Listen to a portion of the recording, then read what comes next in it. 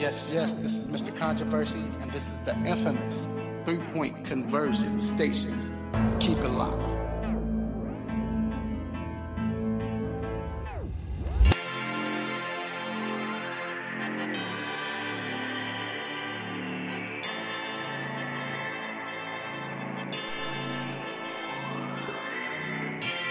Yes, yes, we are back on another Saturday morning inside the Three Point Conversion Sports Lounge. And I'm your host, Mr. Controversy. Did you miss me? I am fronting, as they say, in the hood, because I'm down. I'm sick because I don't know what right now. but anyway, I'm going to make it through. and uh, of course, I'm not here by myself. Of course, you know we got the team here, the crew, minus one. Miss Crystal Dayan is in the building. Hello, Crystal. Good morning. How are you doing? I'm doing swell. Good, good, good. I got my man G. What up, G? Yo. and I got my man man who is here once again, filling in for my man D Intellectual. Because Duty had called once again. But Duty calls for my man, the superstar, H.O. What's What- going on, H.O.? What's happening man? And um Need your energy today, bro. got you I got your back. I got your back. Uh we got a lot to talk about. And I I'm appalled almost at this at the quick hit sometimes of and we gonna get into it. But some things don't take all day. That's all I'm gonna say. And and and it's it's crazy that this is coming up now, but I'm like, whatever the case, this is this is absolutely this almost go this almost made it to the stop it. Mm. That's all I would say. So we gotta stop it coming up. It almost did. It- yeah. I started to. I you see what I'm we'll, saying? We'll get to I it. I mean, my goodness. we still can give it one, though. Oof. we still could give was it one. What, what But in the anyway? We have a great show for you today. We have special guest, Mr. Joe Cortez, coming in talking NBA with us. He will be on the line. Also, we have Dr. Fowler, Donnie Fowler, the orthopedic from Ortho Atlanta. He will be here to give his intake on the injuries on the segment Ask a Doc.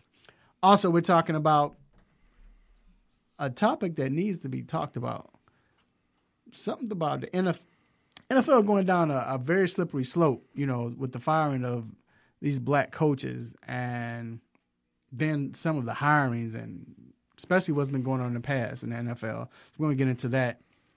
Also, we're going to talk about the NFL playoffs. Um, hard to talk about, but uh, so and then we got the NFL picks, of course. And uh, we got so much to go on, talk about. Quick hits, what's on my mind, to stop it. So make sure you check us out on 1100 AM WWWE locally in Atlanta on the radio. Also, you can check us out on iHeartRadio, Tune In Now. I mean, Tune In, then Radio Now, and that's 1100 WWWE, the real. Also, call in at 404 603 8770. Like I said, especially on this hot topic, but any topic, man, we, we want you to chime in. Don't be afraid. You'll have a lot to say on, in the chat room, on Facebook, Three Point Conversion Facebook page, which will be live. So call in as well. But all right, it is time for these quick hits. Let's get it.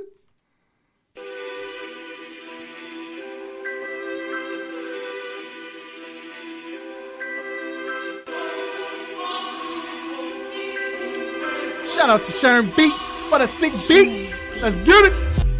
So, this is not what H.O. was talking about, but finally, finally, the Philadelphia 76ers will retire Moses Malone jersey and also give him a statue.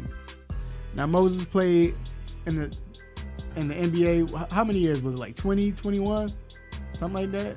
He Um, played for like 28 teams, but um, and he's been successful wherever he's been. but um, finally, from, from 74 to 95. yeah, and finally with Philadelphia, which he won a championship for. You know, he was a, that key piece. So this is well Finals deserved. MVP, Finals MVP, well deserved. Four four four. Three time MVP, well deserved, twelve time All Star. Well deserved. Did I mention NBA too? Man, he played. he played for the uh, ABA, NBA, the Big Three. He didn't play. hey, shout out to my man Moses. He was the first person I remember watching the NBA. Like as a little kid, like I'd be scared to play against him. You know what I'm saying? So uh, shout out to him. Shout out to him because he's a former Hawk. So Yeah, man, he played for every team in the NBA. almost Buffalo Braves. Every team in the NBA. Played for the Bucks. He played for the Spurs. Uh, He who else he did. played for? Houston Rockets, Played for Houston. Yeah. Played for the Washington Bullets, Yep, Bullet, Toronto Raptors. No, Spirit of St. Louis. he played with everybody. But anyway, congrats to uh, Moses Malone. Moving on, please get your button ready. Oh. G. Jesus Christ. So, former Atlanta Falcons OC offensive coordinator Steve Sarkisian AA alum. and ALM has been hired as the Arizona Cardinals offensive coordinator. Stop it. One more time. Stop it. But I will say, I want to ask you this, Ho. Is it really his fault that he can't?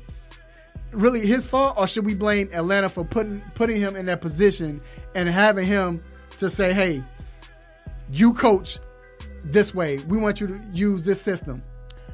I'm an accountability type guy. I start from the top. I start with the root. I can't be mad at him. Right. Period. You put me in this situation, so I'm gonna do the best I can. Now, personally, I have nothing against him.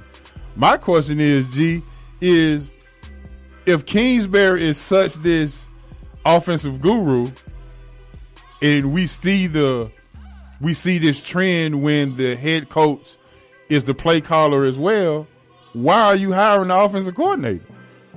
you still need someone to bounce ideas off of, to collaborate with.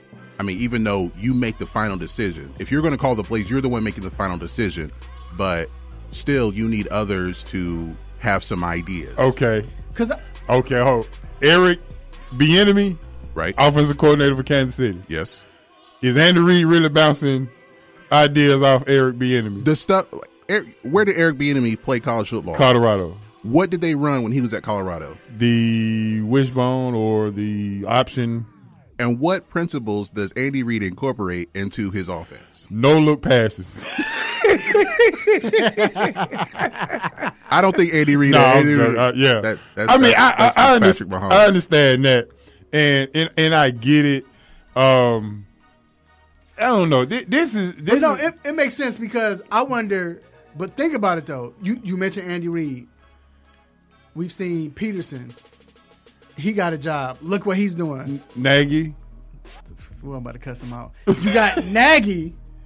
Look Mac, what he's doing. McVay, but but but And my, these are no, the but my, my, my point is, they came from Kansas City, and I always thought that like people like Andy Reid, um, who else is a guru? Who was guru, uh, offensive guru? Do we have any more coaches that are older coaches that are offensive gurus? Gruden was supposed to be Gruden. one. But I'm saying that had, but I'm saying that had like, you had an OC, but knowing this guy's calling a play. It's like a defensive Oh, coordinator. uh, It's McCar- like, McCarthy. McCarthy. McCarthy. It's like Jason Garrett. It's like a defensive coordinator.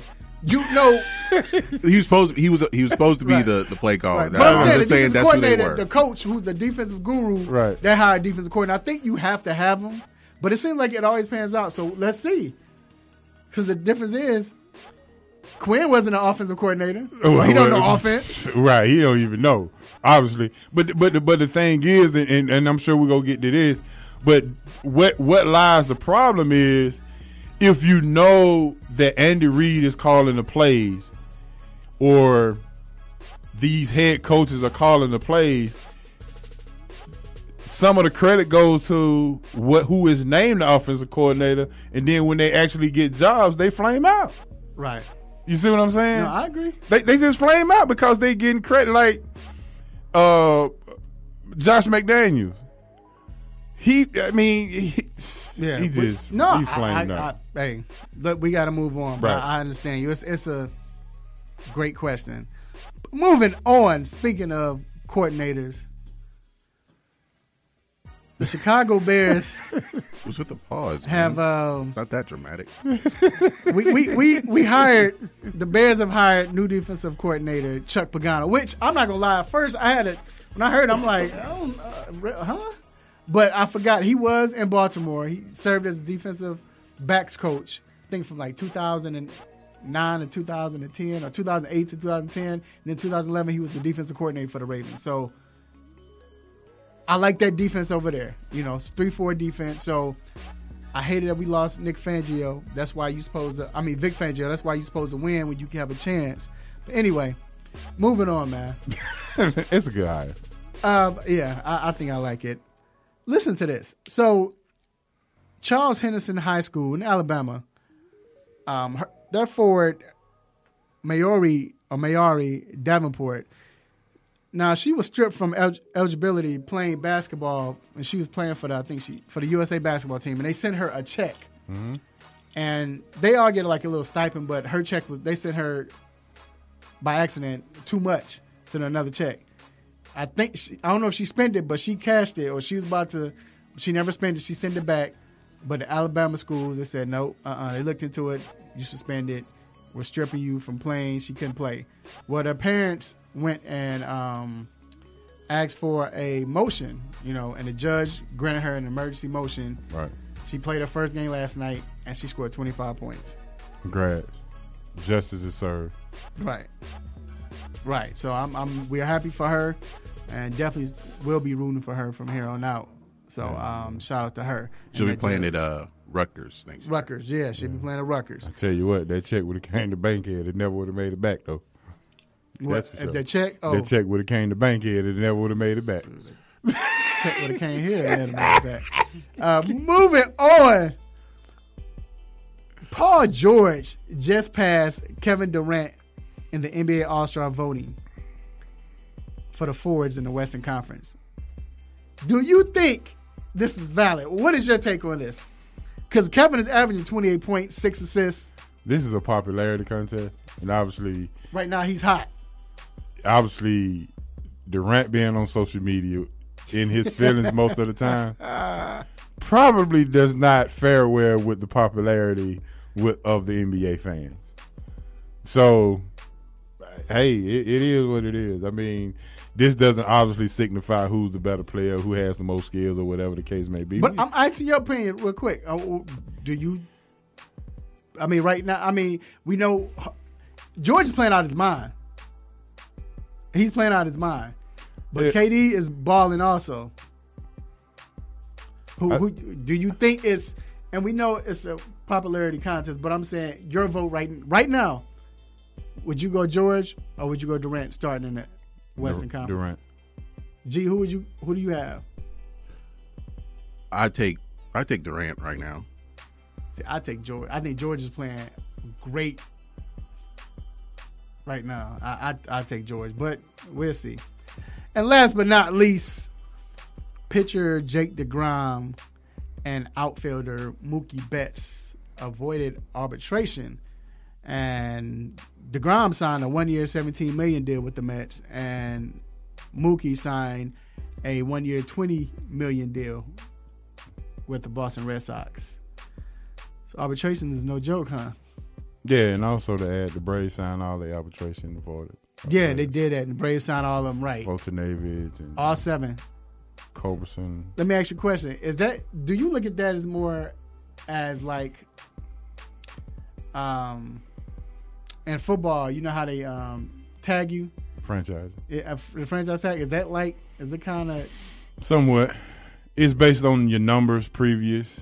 Uh, your previous uh, the last two years. I think of the last couple of years, they look at the numbers and they kind of weigh it and have a value. It, it's it's crazy how the the sport itself how they value your how they value how much they're going to are willing to pay you. Right. It's it's quite interesting, Right. you know. But uh, in football, it's it's more position that they kind of do it. In baseball, it's it, it just Yeah, it it's what what it is, is, right. You know, so All right. So please don't move or change that dial. We will be back with a very interesting conversation, a very interesting topic you don't want to miss. Um, we will be right back.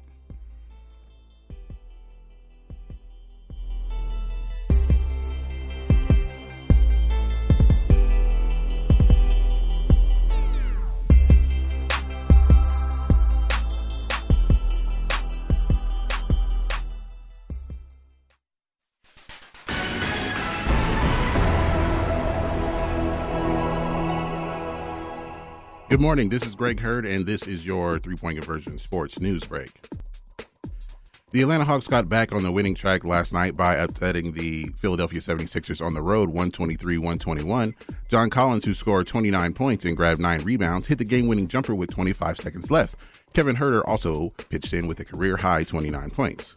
Georgia Tech men's basketball team will travel to Syracuse to face the Orange. The Yellow Jackets are 9 and 6 and 1 and 1 in ACC conference play. The 12 and 4 Georgia State Panthers will host Louisiana Monroe today at the Georgia Sports University, excuse me, the Georgia State University Sports Arena at 1 o'clock. Make sure to get your updates exclusively with the three point conversion. The divisional playoff games are today as the Indianapolis Colts travel to Kansas City to face the Chiefs, and the Dallas Cowboys are in Los Angeles to play against the Rams. Make sure to follow the three point conversion for exclusive Super Bowl coverage and all of your major sports news updates. It's where fans' opinions matter.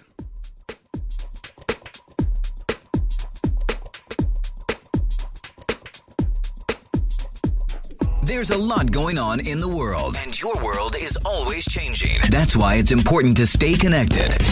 The latest news, the latest entertainment, the newest music. If it's in the air or on the air, it can be in the palm of your hand, wherever you are, with the iHeartRadio app. iHeartRadio. Over 1,500 live radio stations from across the country, and over 15 million songs to create your own custom stations. Text IHR to 45495 to download the app or listen at iHeartRadio.com. Standard text and data rates apply. What's up? This is Chris Tucker for the three point conversion. Let's go. Let's go. Let's go. Let's go.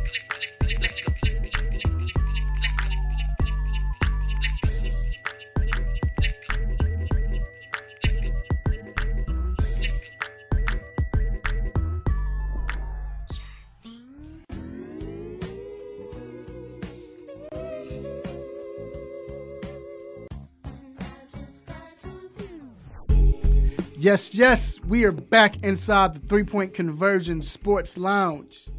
It's Mr. Controversy here with my man H.O. yeah. And this next topic, the hot topic, is brought to you by Syndica's Barbershop, located on 3000 Chapel Hill Road, Suite 206, Douglasville, Georgia. Make sure you guys check them out. If you need a fresh cut, got a date, you have a premiere to go to, an event, wherever. Family reunion, they, they're going to get you right. Everyone can cut in there, no empty chairs. And um, great talk, great barbershop vibe, talking sports, community, unity, and everything. Make sure you check out my main man, Dwayne Chambers. He will be, once you walk in, all the way on the left, the last barber on the left, all the way down. And you can follow him on Instagram at Simha the Barber. That's S I M H A T H E B A R B E R. Shout out to the whole barbershop. What up, Z? All right. So, this next segment, the hot topic, is definitely hot. I'm wondering, ladies and gentlemen, if the NFL NFL is going down a slippery, slippery slope. They just came off of this situation last two years with the kneeling and everything. First, they banned Kaepernick, basically. Then um, they want to come up with rules and say, okay, well, you can do this, but you can't. You had owners talking about you, you better not do this or you're getting all of this crap just because they want to stand up and protest. Not against the NFL, but just protest, period. Um, and then they hired my man um, Reid, and when they bring in Eric Reid, the safety, he was one of the people who were who was um, kneeling down with Kaepernick and continued to kneel after Kaepernick was gone. And then for a moment, it seemed like he got blackballed, and then he was picked up by the Carolina Panthers midway through the season.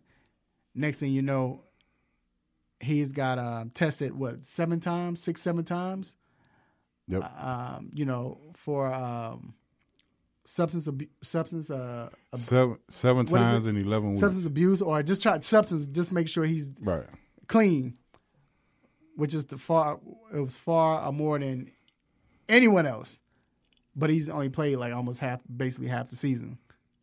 So you look at that, even though it was a great season for the NFL, you say, okay, you know, I guess you could say either the NFL, people were distracted by the great season, or it was just a great season, so you're not thinking about it. Then you have this this off season. We see a barrage of black coaches get fired. Right? All these coaches get fired. And not one get hired. Or one. Hmm? Was it one? No, who? No, no, not no coach. Not there's no Not new a head black coach. no, I not mean, a so- coach. a couple of them got coordinator jobs. Oh, Yeah, okay. we're talking That's- about head oh, okay, coach. Okay, okay, okay. I got you. So, just with this alone, we just brought up, does this make the NFL look iffy? Or, or, or is it justified with the firings? NFL always look iffy. Um, this is an owners league, and they gonna let you know. Um, you know, if if, if you if I'm, I guess I shouldn't say that, but the NFL uh, always says we are the we bigger than you. You're never going to be bigger than than us, the players. That is, and when you look at this situation, they even created a a Rooney Rule to appease some of the naysayers about how this looks. And I don't I don't even think it has helped or it may have even gotten worse. Right. So to just to what they call it the token interview is is is is sad to me. Um I can name a, a bunch of these guys that have gotten interviews, but I mean we can we can go down the list. Like, how many got interviewed? I mean, and they, I know they everybody in, enemy got an interview. Yeah. Uh, Enemy, enemy. they didn't wait. Well, Chris Richards was supposed to be interviewing for the Miami job, but that never happened. I think like more teams are are trying to get their coach now, and you're supposed to if they're if your coach is the coach you want to interview is his team is in the playoffs right now, you have to wait until after Right. to hire them. Right. But some are trying to get somebody right now, and Which that makes sense. that is That's- affecting that's- some of the black yeah. coaches that who may have been rumored to be uh, Mm. hired for these jobs. And again, you know, I, it seemed like they took it literally for Black Monday. You know, it, it just Steve Wilks got the worst day ever.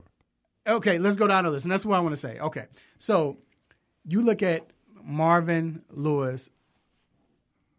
I mean, I think everyone was saying, "How in the world is he keeping his job?" 16 years. I was saying it. I said it.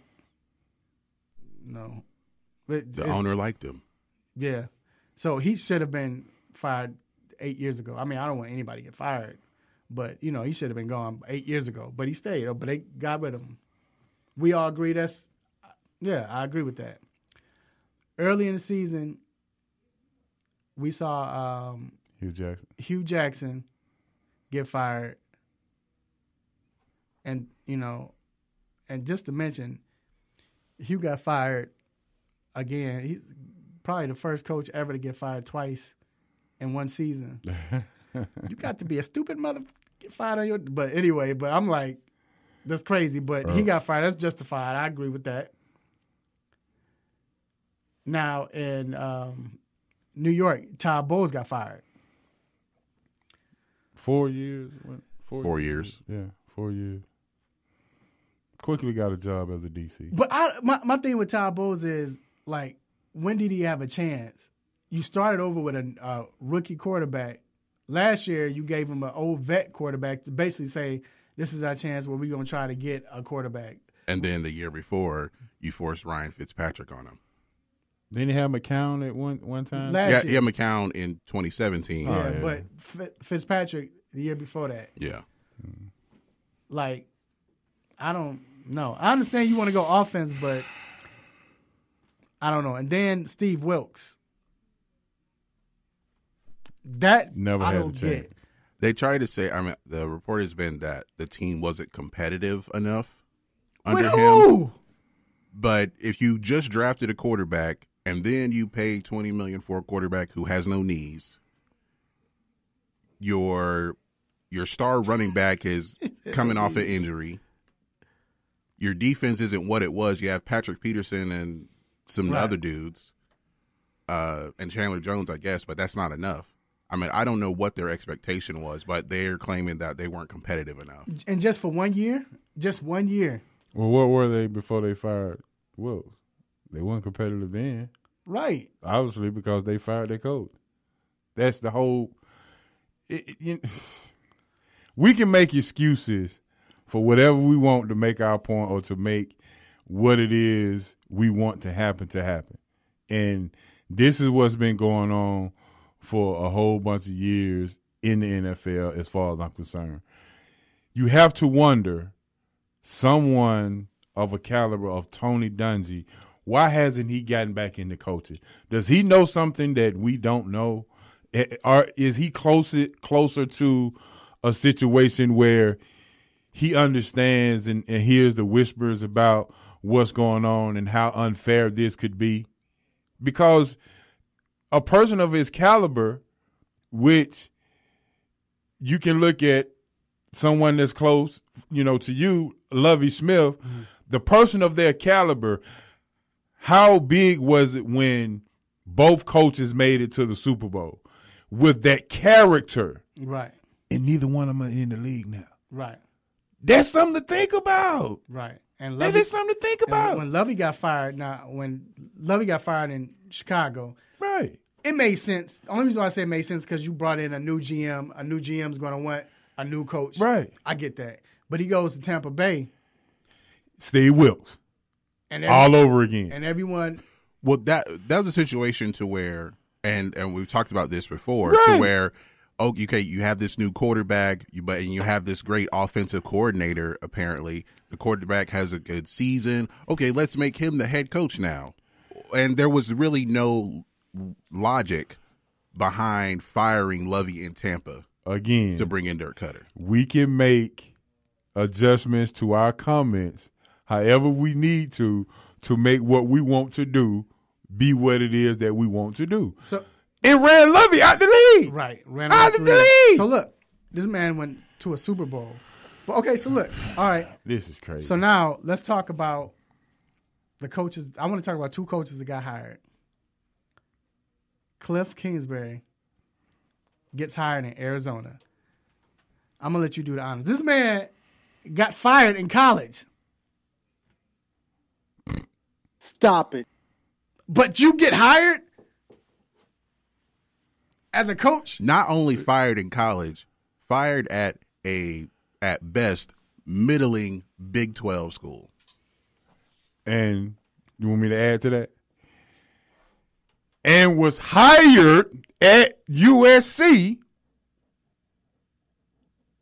and then walked away from that to go to the NFL. And I, I don't. And and this is this is the thing. This is this, this is how you know something is going on.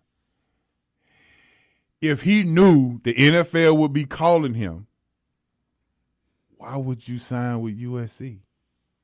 Why would you take that job?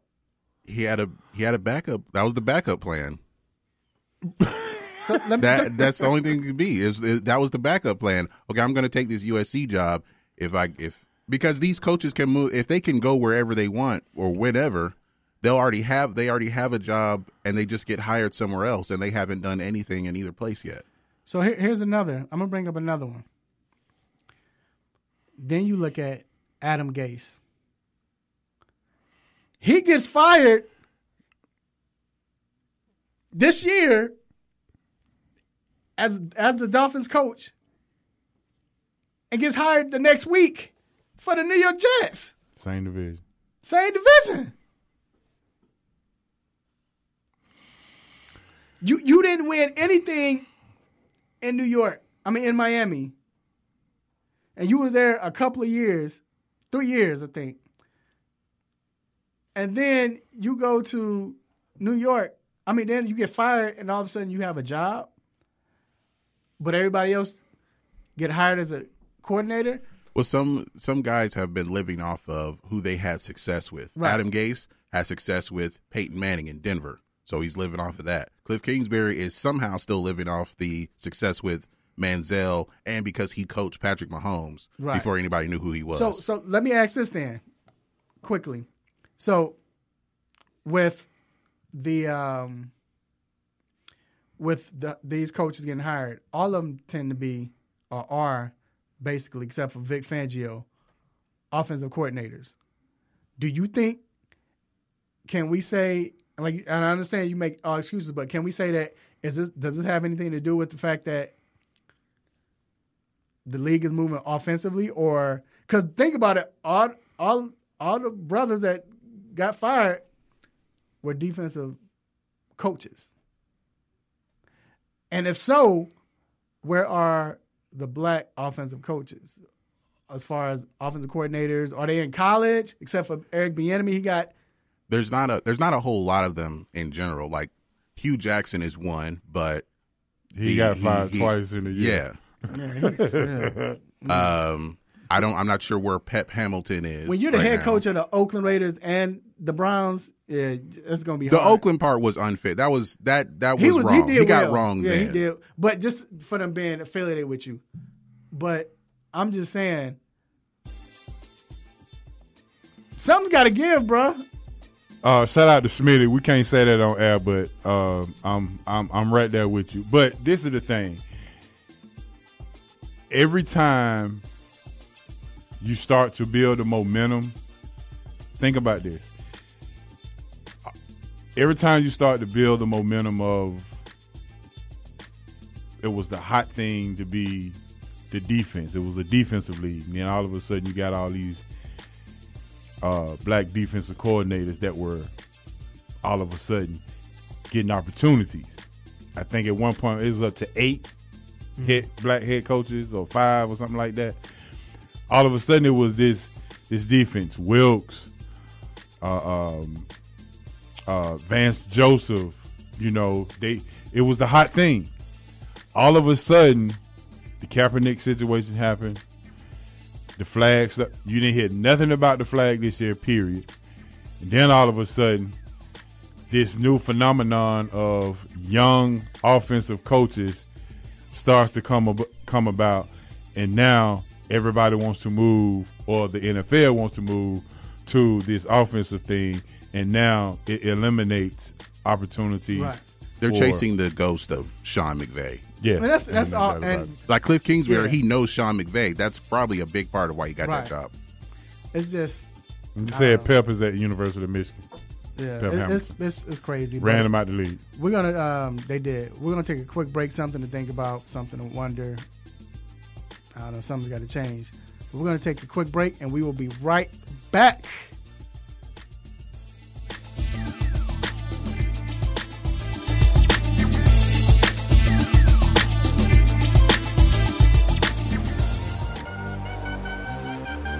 Three point conversion, Kevin Huerter with the Atlanta Hawks.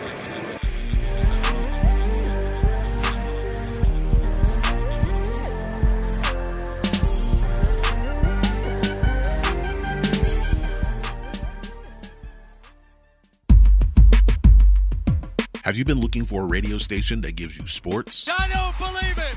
It's a touchdown. entertainment, Are you not entertained? And and other special interest talk shows Well, isn't that special? all on one app? Yo, that's dope. What app is that? It's the real 1100 AM app for WWE. Grab it for free in your Google Play or Apple App Store today.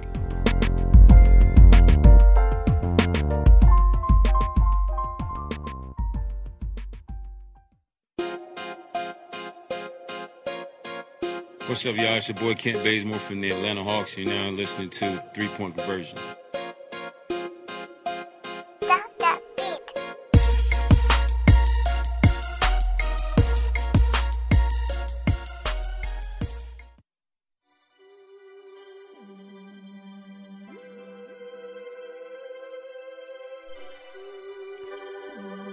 Yes, yes, we are back inside the three point conversion sports lounge.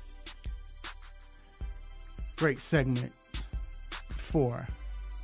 Now, it was hard for me to watch the Alabama game, but I was able to. I have to I have a job, so I have to watch it. And um, I had a little smirk on my face until and I was feeling good. I'm like, yes, Alabama's getting beat. I was just because of so many Alabamas. I was hating. I ain't gonna lie. I'm not gonna lie. Until you see the two kickers kick and hit the goalpost. I almost lost it, HO. I got mad instantly. got mad instantly. Um, but anyway, the game is over. Everybody's talked about it, of course. But can we say that now because of the results of that game, but not only even not even the results, but the fact that Clemson and Alabama has played four years in a row, three years in the championship, and then one in the playoff. Last year was the playoff when they met in the playoffs. Mm-hmm. Can we say now? Let's stop talking about expanding the playoffs because what what is the purpose if it's going to be Alabama Clemson? Now, if we bring other teams, they were worse, or so to say, record wise, than the teams that made it. Right. Could they make a difference? My my whole point would be, you know, for the fanfare, you would probably want to go 18, 16s or whatever the case may be. But if it, if it's going to always come down to Alabama Clemson for the last 4 years, at least 3 years in the championship game, then to me it's like two might be the way to go. Mm. We might just bring it on back to the let's see what two teams can get in because this year's game, as far as the Notre Dame and, and, and Clemson and the Alabama, the Alabama and Oklahoma game was probably watched more than the Clemson Notre Dame game. But the Clemson Notre Dame game was, I mean, that was a, a sleep number. Right. I mean, I, I had my sleep number on ninety two. I mean, I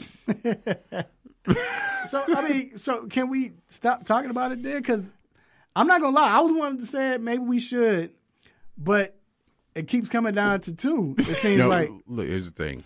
I think what people are tired of seeing, they're tired of seeing the same teams. right.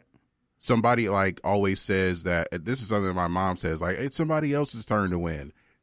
They have to actually do it. exactly. So you actually have to beat these teams Right. to have a chance. Nobody's going to let you win just because, well, you know, we've won five in a We row. tired of we don't want six. right. You know, so you have to go. The the other teams have to get better. I think Klay Thompson said something about that too, where people are we're tired of seeing the Warriors in the finals. Well, you got to go beat them then. So point. the other teams have to get better if they want to win. That's it's that simple. And to me, Clemson, Alabama has played in three championship games over the last four years. It's not even close. The competition's not even close. It's not even close at, at all. I, mean, it, it, it is. It's ultimately ridiculous of how good these two teams have been, and we talked about it before we came on air. Nick Saban has lost now 23 assistants. 23. 23. The OC that was supposed to be the new OC, he even leaves now. left. I- so to lose 23 offensive coordinators during your tenure and you are still at this level? That means they cheating. No, I'm just kidding. No, man, he's good. I'm just kidding. No, he's You great. know? Yeah. I'm like, bro, and then, I mean, and that's interesting because it's like people are trying to get the they do this in the NFL. We're trying to get like that Patriots assistant, trying to get that Patriot magic to rub off on them. Right. They're trying to get the Alabama magic to rub off on them, and it has it ha- has it worked anywhere yet? Nope. It's just like if you're an assistant of Saban and Belichick, yeah, you can get a job, but are you going to? I mean, Georgia wa- is the closest thing. At least That- they yeah, went to Kirby, Kirby's the closest. he, he at least he went to the uh, championship game. Yeah. But that's it. Now, speaking of that game, you have two players who are transferring, which are quarterbacks from each team Jalen Hurts, Kelly Bryant, not to mention now the new one, Tate Martell, who stuck his foot in his mouth, and Justin Fields. Gee, it's, it's a few more, right? Brandon Wimbush, Brandon Wimbush. Tyree Jackson. Um, So, but th- the fact that, and we spoke about this before, early in the year, early in 2018, about transferring players. Are they quitting or not? It's starting to become the norm now. Do we want this to be the norm? Because okay, before you answer that, do you un? I understand. I understand Jalen Hurts mm-hmm. because Jalen's a senior, about to be a senior, right? Oh, or his last year. graduated in December. Yeah, so it's about to be his last year. graduated. Right. But he has one one year of Right. eligibility. But mm-hmm. then Kelly Bryant, he said he wants to leave. But do you f- understand them, or is it still? This is a this is a way to appease. This is a way to appease college students because you allow coaches to move and shake whenever they want to. Mm-hmm. I can recruit you and then leave. Look at Manny Diaz. Oh, that! Oh my God, he moonwalk better than Michael Jackson. Um,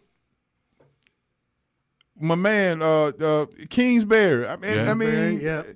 it, it, there's there's a, a there's a lot of I can recruit you, then I can leave with no penalty. But if you try to leave, you got to sit out a year.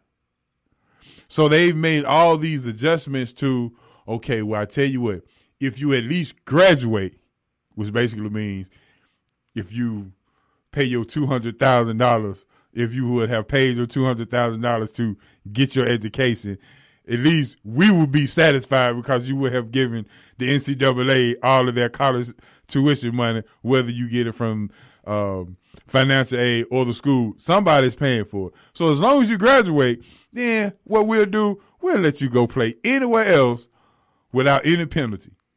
Now they got this thing where you can appeal if you feel threatened.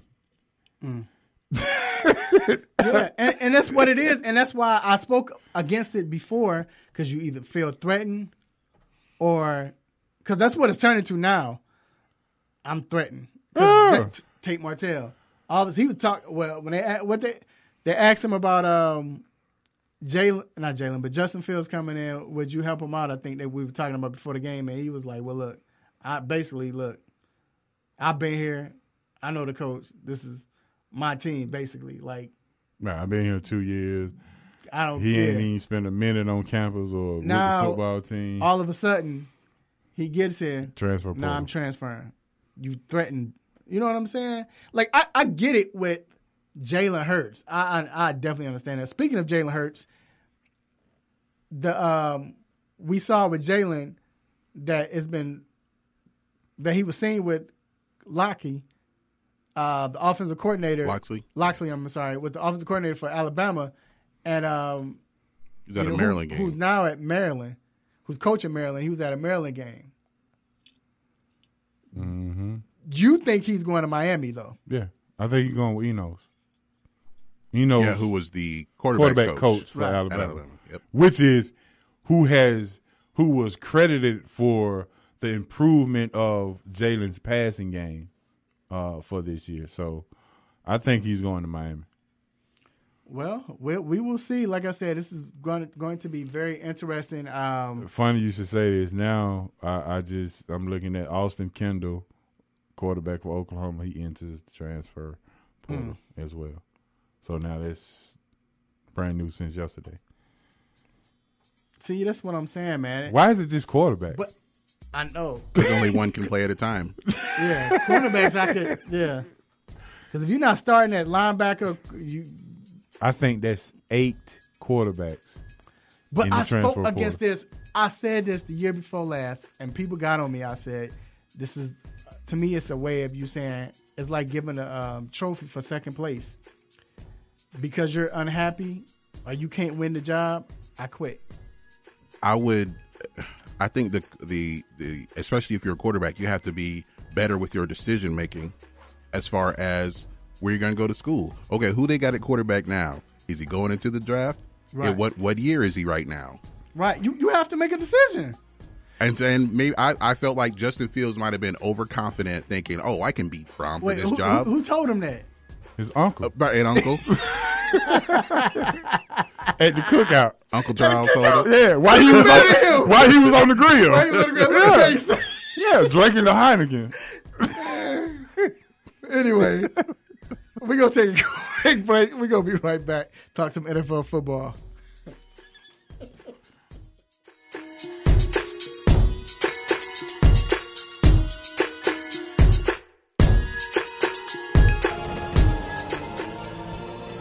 Hey, this is Gary Payton. Y'all listen to Three Point Conversion Radio. It's the bomb.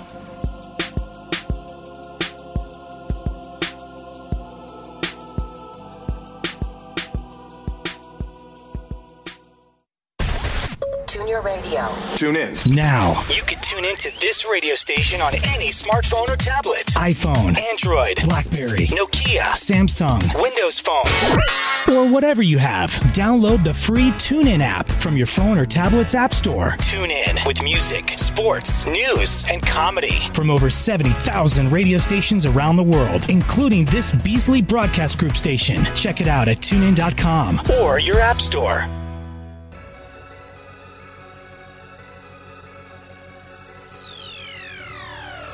Ladies and gentlemen, this is Katt Williams, and you are listening to Three Point Conversion Radio.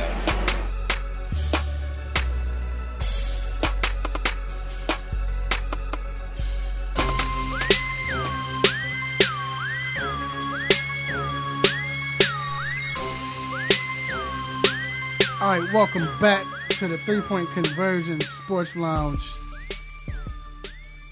And this is wild card weekend. I mean, I'm sorry, not wild card weekend, but divisional round playoffs. And first, I want to give a um, special shout out to Miss Sarah Thoms- Thomas. Miss Sarah Thomas will be the first woman referee, woman to referee a playoff game. So I, it's big. You know, I, I'm I'm the it's big. It's big. I'm the type that I'm not even looking at it like that. Like, hey, she's good. So, you know what I'm saying? She's she's there. So, hey, kudos to her. But um, you know, I think other women who wants to get into this field and see her excelling or anything, and it's not even w- women, just anybody. If you feel like whether it's race, gender, religion, you feel like you can't be because of your race, religion, gender, or what have you, she's proven it. You know what I'm saying? So shout out to her. Um, but today is uh, division round playoffs, and this is where I am kind of um, going through right now because we're we're not we're not here but- Because you lost. Oh, I'm sorry. so and right now, just for that, I hope that the Dallas Cowboys make it to the Super Bowl. No, I want them to go Super Bowl and fumble and lose that way. I'm just kidding. But I'm you know who kidding. won't be there? Woo, woo. Got some ping pong action going on, baby. Mm-hmm. Yo, sir. G, how you turn on me, dog? I, I was with you. you. But anyway, we get, we have uh, we have some in- interesting games um, this weekend. It's going to be because you you got like I said, people didn't expect the Eagles to play the Saints. You really didn't expect the Cowboys to play the Rams. Everybody was waiting for the Cowboys to play the New Orleans Saints, but they're playing the Rams. Um, but let's start off with the Colts and Chiefs. It's supposed to snow today. Well, it's snowing today. It's snow in Kansas City. In Kansas City. Right. Won't be no barbecue today. Do they have a chance, the Colts? And why? They have a chance because it's snowing. They have a chance because their offensive line is mean. Mm. Their offensive line. So you have Justin Houston, Dee Ford, um, all these guys that can get to the quarterback for Kansas City. This is their strongest piece on defense. Right. Secondary has been garbage all season. Barry, we've seen him go up against the likes of Grunt in the past, but we have not seen him at this level or at that level here recently. So you got Ebron, you got T.Y. Hilton, you got an offensive line that allowed Mack to run for what 148 yards last week. You know, on the flip side, we got to see if Andy Reid can prevail in a playoff. One playoff win, you say? One playoff win as yeah, a Chiefs coach. As a Chiefs coach. New quarterback, I get it. You don't have Kareem Hunt. That's that's big. Don't have Kareem Hunt. You do have Tyreek Hill, but it's snowing. This could go. This could. This game. This is what I think people have been waiting for. Let's see how you perform in the playoff when the weather changes and when you have to play against, or not just against an opponent, but in adverse conditions. Mm-hmm. Now, granted, I mean, you say the coach because of the offensive line, and they got a running back who can run the ball well, and just probably fit for him. But those wide receivers for Indy, same type of players. You know what I'm saying? Mm-hmm. They're not built for this. So with the Colts, I think. What well, the Chiefs, I think the fact that they have the crowd behind them you know, this is this is football to them right now, you know. And then they, they really believe. Let's be real. Those other years, Chiefs last year against Titans, they were loud, but it was a sense of you could tell they didn't believe that they were going to win. They were nervous. I'll say that. Well, I think they're they're confident now, but I think because it's a whole different team than Andy Reid. I think you look at Andy Reid's team, look at it, and then we'll move to the next game. Alex Smith. Right. Come on. I mean, the wide receiver core back then, no. They had Kareem Hunt, but and other running backs that could have been successful. They were hurt, but yet still, he didn't have the weapons that he have now. He didn't have the intangibles at the quarterback position back then that he has now. I think that makes a difference. And I think the mindset of them now and Andy Reid feels like he's going to win because of that. Real quick before we move on to the next game, all the coach has to do is move the chain, keep Mahomes off the field, right? Their defense is underrated. They got one of the best linebackers, rookie linebackers that we've seen in a long time if you force Kansas City to be one dimensional, come out, throw the ball, stop the clock, three and out, and the Colts get the ball back and they run 12, 12 play drive, 14 play drive, getting field goals or getting a touchdown, the Chiefs, you forcing them to be one dimensional, that's that's that's a recipe for a L. But can I say this though? With the Chiefs, with the Colts defense, they played a cover two. We heard Booger McFarland, Booger McFarland say their Um, the the cover two has won six Super Bowls. The last one was 2010. Cover two doesn't work anymore. It worked last week because Houston doesn't have any weapons. That's going to be. They have t- no speed. and they have no speed. This is a tall task when you're playing speed, talent, and weapons all over the place. Is it speed in the snow? It's still speed Mm. because th- they're still going to be faster than you because you're going to be slower also. So it, it's running straight down. Snow doesn't stop that.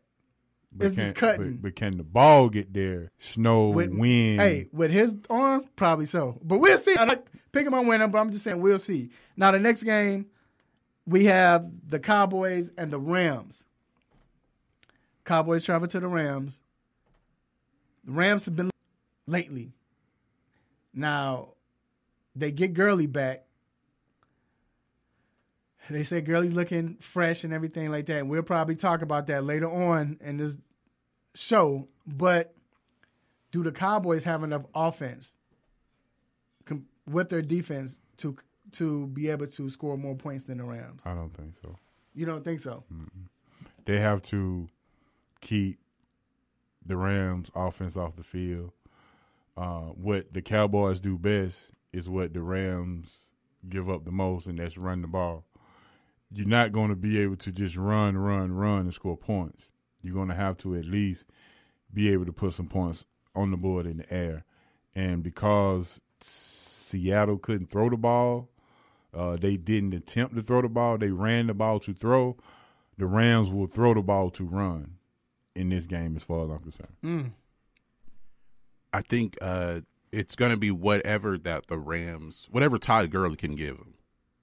It's really going to depend on what he can give him. If he's effective, then that's going to make Jared Goff more effective because Dallas will be worried more about Gurley than Goff.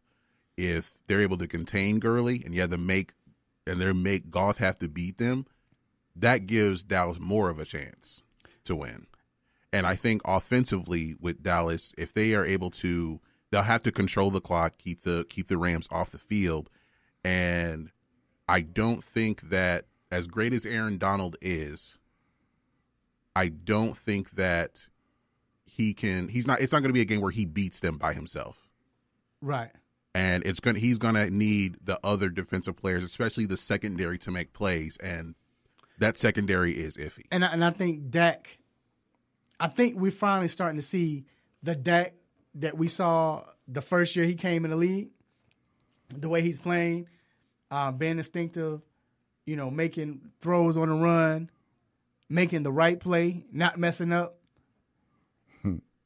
if he continues to do that, and he's and we know Dak, he when he plays with confidence, I mean, man, he's he won Rookie of the Year, so um, offensive Rookie of the Year.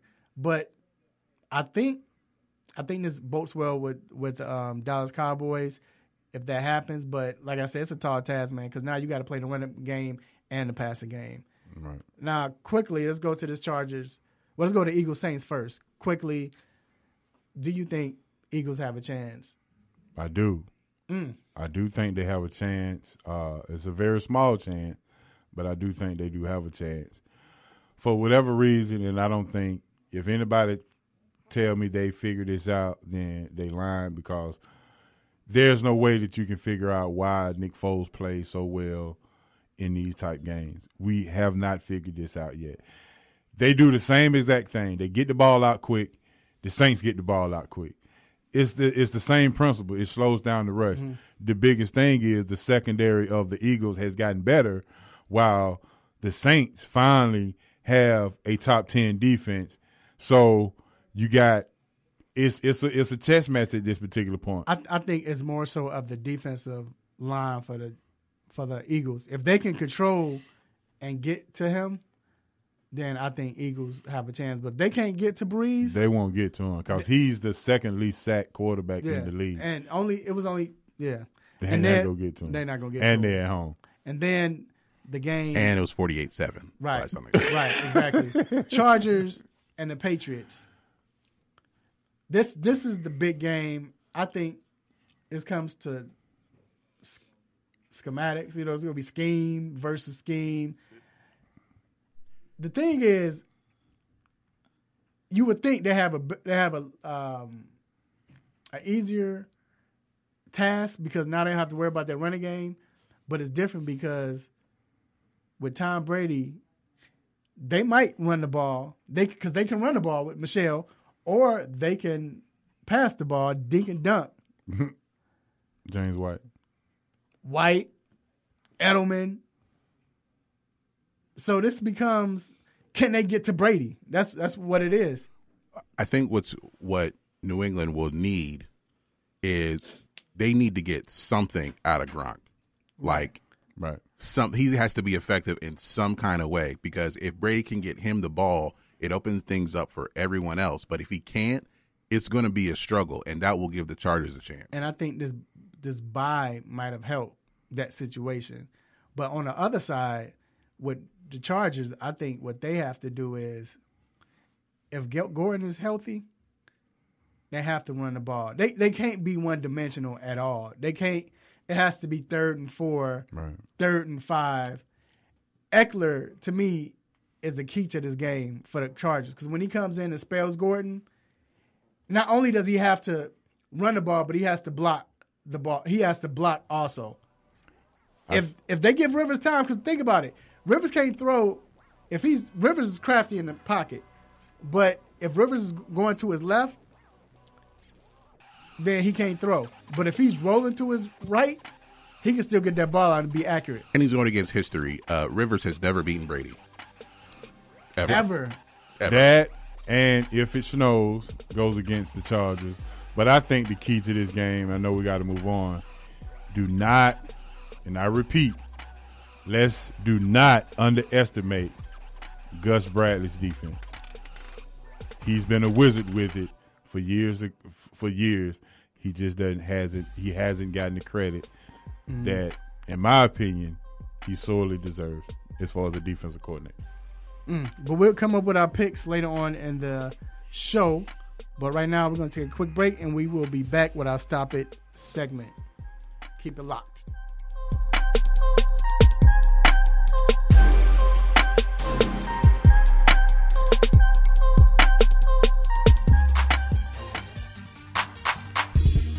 This is Leilani Mitchell from the Phoenix Mercury, and you're listening to the Three Point Conversion.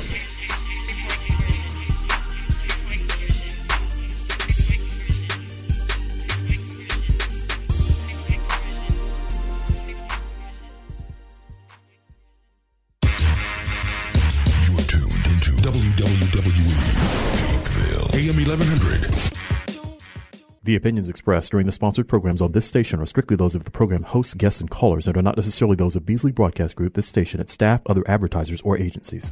What's going on, folks? It's LA and Eric from Brownstown, USA podcast on the three point conversion. You know, LA, these guys may have the smarts on a national level, but I think we can take them when it comes to the 216. Man, stop it. You're on Garbage Watch.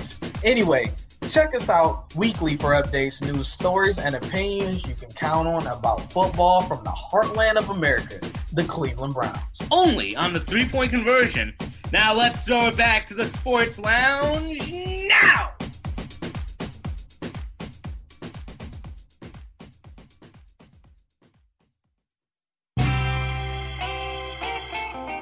No mercy. Don't let up on him. Go hard on him, Mr. Controversy. Hit him with the stop it button.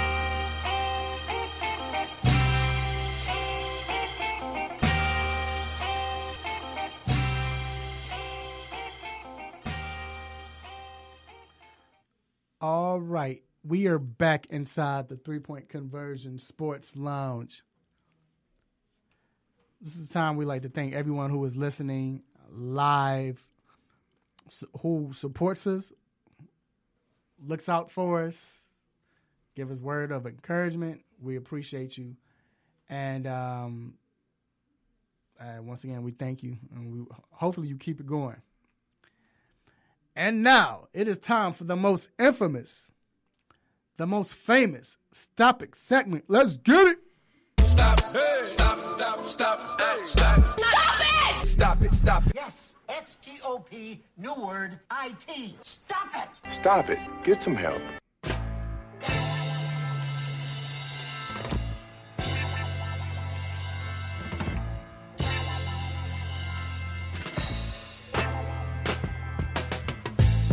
All right. HO, what's on you? What is your stop it My- moment? My stop it this week goes uh goes to no other than Mr. John Elway for blocking a person from getting the job, and after they didn't agree to terms, he gets rid of the guy anyway. Stop it. Wait, he got rid of him? He don't have a job. But he's still in the front office, though. No, he's not in the front office. That's gone too. Oh. Yes. Stop it. Wow. Did y'all hire someone yet? The Haw- Falcons? Yeah. Oh, I know y'all sick. Oof. You you you you block him from interviewing. Then you make him the offensive coordinator. You don't agree with the staff that he wants to bring in. So you say, well, don't even worry about any offensive coordinator. And your front office job, you can go ahead and get that too. Now you can interview. Mm. Well, the jobs are taken. Right. Mm, Come on, John. Wrong. That's Tripping. Dirty. All right. G.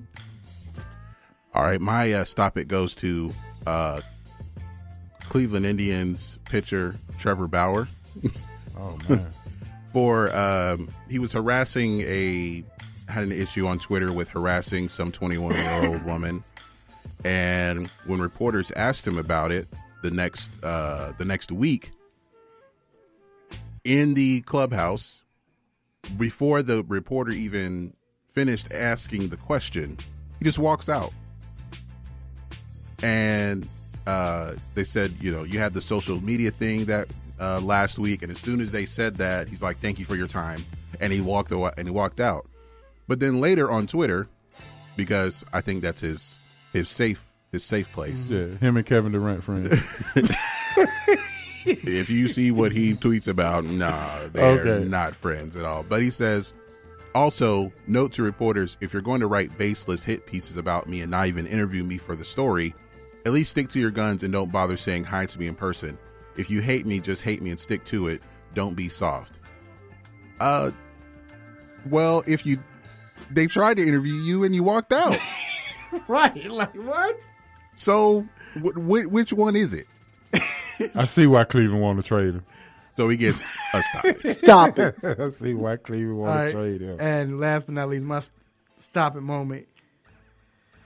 Oh man, goes to um, Miami University's head coach, football head coach Manny Diaz.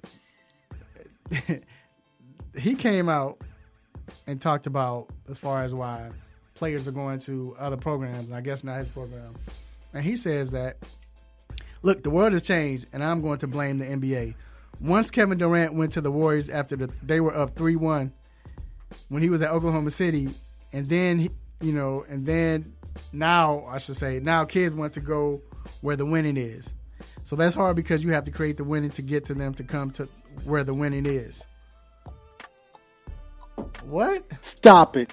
So you're blaming, you're a football coach, you're blaming Kevin Durant because you can't get number one to come to Miami? because players want to go to where they can win. Man, All right, we're going to take a quick break. wow. man, yeah. Manny already messing up when he get there. We'll be right back to talk some NBA football. I'm NBA football. I'm tripping. I can even stop it. NBA basketball. Stop it. New sport. I'm thinking about Chicago. I'm still thinking about the Bears. we'll be right back.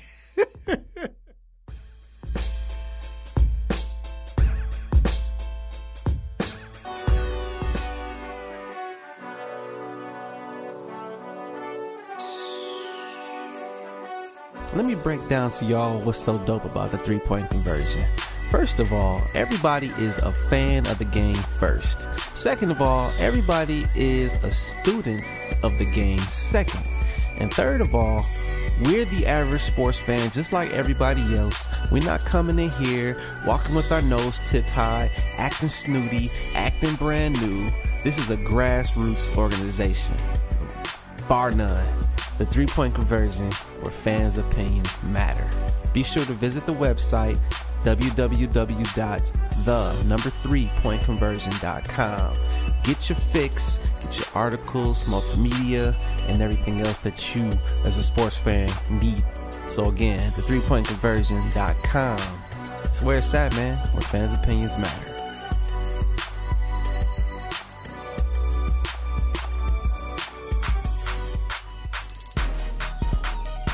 Hey, what's going on, sports fans? It's the 2018 Battlegrounds champion, Damian Adams, from The Real Deal with Damian Adams. Now, you can catch my show weekly on the Three Point Conversion station on Spreaker Radio.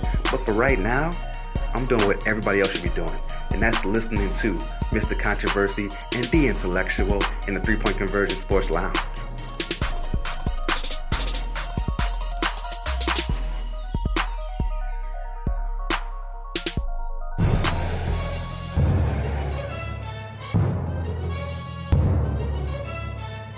Whether it's quick hits, what's on my mind, the infamous Stop It segment, you got to be there every Saturday morning on the Three Point Conversion Station for the Three Point Conversion Sports Lounge hosted by Mr. Controversy.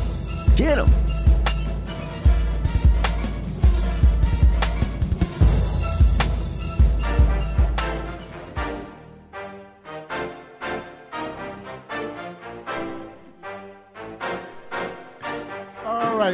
Back inside the three point conversion sports lounge. I believe I say NBA football. oh, bro, I'm, I'm still jacked up from Sunday, man. I ain't gonna lie.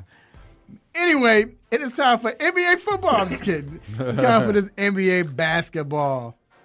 And of course, we couldn't do this without a friend of the show, uh, someone who we definitely respect, and he's one of the, he's the owner of Basketball Writers, which is um, a website for basketball. If you're a basketball fan, especially NBA fan, is that's what it is. You're gonna get the great greatest writers, great content, and you can go to bballwriters.com and um, you can follow them at bball writers, and they cover the NBA, WNBA, EuroLeague, esports, and gambling.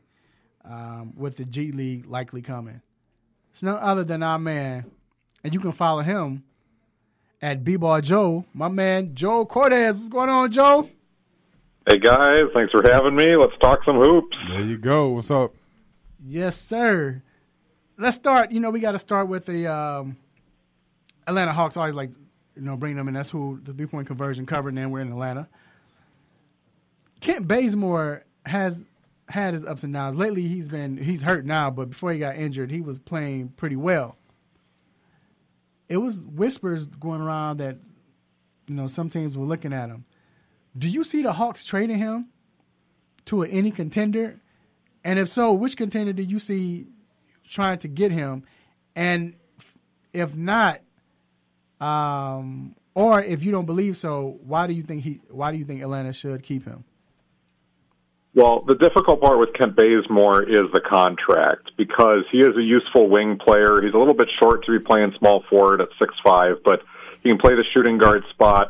You know, he's hitting a career 44, uh, almost career high, 44% from the field. Three point shooting leaves a little bit to be desired this year, 33%, but, you know, he's doing things in other categories. It's always tough on a, you know, a bad team to wonder where those stats are coming from, but he's proven that he can be useful on pretty decent teams before this too. But he's making $18 million a year, and that's the reason, and that's not only for this season, but next. So that's the reason I don't see Kent Bazemore being traded for to a contender because most of those teams don't have a lot of deadweight contracts on the books that are going to match up in order to make that deal happen unless they get a third party involved. I think what you would see is more maybe a fringe playoff team that's trying to swing for the fences and get over the hump They might be looking at him, especially if the Hawks are willing to take on a dead contract in return. You know, and then that fringe playoff team's got to sweeten it with a pick, or they've got to send somebody back. So you're going to be looking at somebody like the Memphis Grizzlies. They're looking to unload Chandler Parsons. Would they be willing to do that? Uh, he's got two years left on his deal, but that's $24 million for Parsons. Um, are they going to sweeten that with a pick in order to get somebody usable because it looks like they've moved on from Chandler, even though he's supposedly healthy. Detroit, they could build something around Jon Leuer and Langston Galloway, but it seems like they like their wing combination. The big team that I'm looking for, Hawks fans know them very well, and that's the Charlotte Hornets. They are supposedly trying to move on from Nick Batum's contract. That is a whopper at $24 million as well and there's an extra year on top of that. They would have to sweeten the pot somehow, either with one of their younger players or with a pick.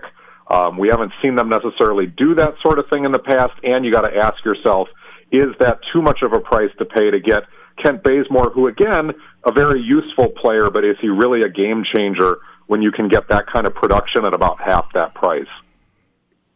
All right, Joe, this Horace. Uh, we love talking to you, uh, by the way. Uh, but when you look at the West, uh, the Western Division is up and down. One week you in last place, the next week you in third place. It's kind of flip flop. I think we can all agree that Golden State is probably the team to beat, especially with Boogie coming back. Do want to ask what team, if there's any in your opinion, has the best chance to unseat Golden State in the West? Yeah, I spent about an hour trying to do research and answer this question earlier this morning as I was prepping for this, and it's really difficult. There's a, a handful of teams that I think we can throw out. Uh, Utah, the Lakers, Clippers, Spurs, Blazers, those are all good teams that have a reasonable case, you know, to be a playoff team and maybe even win around during the playoffs. But it left three others that really stood out, just not enough to say that they, they can, you know, unseat Golden State with any seriousness here. That's going to be the Denver Nuggets, Oklahoma City Thunder, and Houston Rockets. The Rockets stand out in the scoring department. We know that they can keep pace with Golden State, but like the Warriors, the Rockets are not as good defensively as they were last year. They started out really slow, just like the Warriors did, and they're hitting their stride right now. They're also looking for Chris Paul to come back. We saw their seven game series last year. It was really close. Golden State was a better team last year. The Rockets were a better team last year.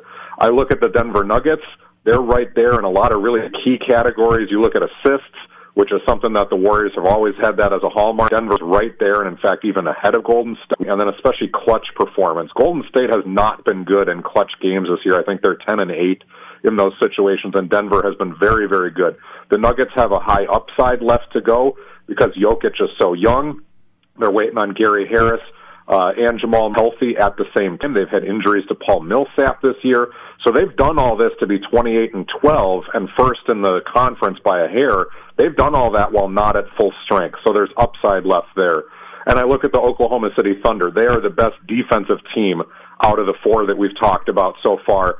They are long now at every single position. Bringing in Nerlens Noel to pair with Jerami Grant up front. Obviously, Steven Adams is a beast down low. Uh, but even Terrence Ferguson has given them good minutes. Uh, Cheick Diallo has given them good minutes on the wing. They are just long and explosive at every single position.